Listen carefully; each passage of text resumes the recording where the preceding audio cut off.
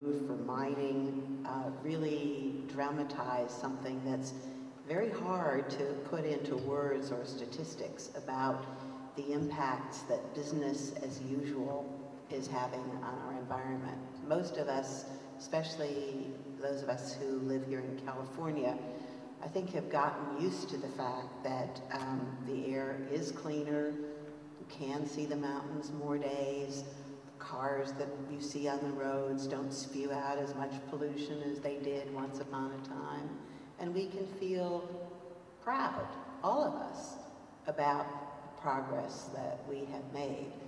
But our brothers and sisters in many places, in many communities, are not experiencing that same degree of satisfaction when they look around.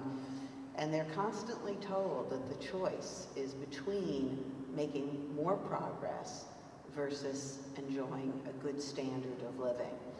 And